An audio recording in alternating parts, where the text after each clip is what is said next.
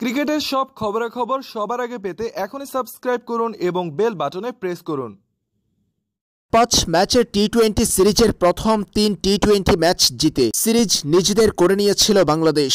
অজিদের বিপক্ষে সিরিজের চতুর্থ টি টোয়েন্টি ম্যাচ পরাজিত হয়েছে টাইগাররা, যার ফলে এই সিরিজে অস্ট্রেলিয়াকে হোয়াইট ওয়াশের স্বপ্ন বানচাল হয়ে গেছে বাংলাদেশের। বাংলাদেশের সামনে এখন আছে আর মাত্র একটি ম্যাচ। অস্ট্রেলিয়ার বিপক্ষে সিরিজের পঞ্চম ও শেষ টি টোয়েন্টি ম্যাচে জয়ের মধ্য দিয়ে সিরিজ শেষ করতে চাইবে টাইগাররা। আগামীকাল বিকেল ছয়টায় মাঠে নামছে বাংলাদেশ ও অস্ট্রেলিয়া। অজিদের বিপক্ষে পঞ্চম ম্যাচের আগে বাংলাদেশ দলে রয়েছে পরিবর্তনের সম্ভাবনা।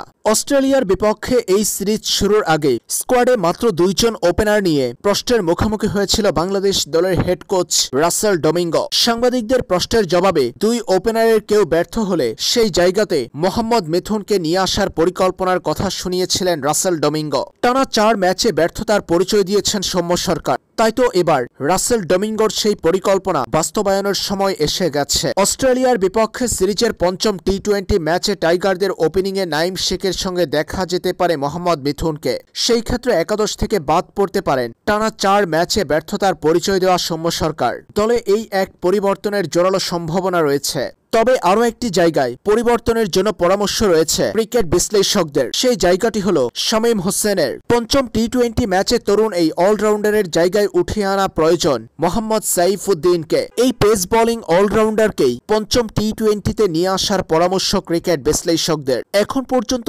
অজিদের বিপক্ষে নিজেকে ব্যাট হাতে প্রমাণ করতে পারেননি শামীম হোসেন। আর এই জায়গাতে মোহাম্মদ সাইফুদ্দিন ব্যাটিংয়ে ভালো কিছু করার যোগ্যতা রাখে। সব মিলিয়ে সিরিজের পঞ্চম ও শেষ টোয়েন্টি ম্যাচে বাংলাদেশের একাদশ হতে পারে। নাইম শেখ মোহাম্মদ মেথুন সাকিব আল হাসান মাহমুদুল্লাহ রিয়াদ নুরুল হাসান সোহান আফিফ হোসেন শেখ মাহাদি হাসান মোহাম্মদ সাইফুদ্দিন নাসুম আহমেদ মুস্তাফিজুর রহমান এবং শরীফুল ইসলাম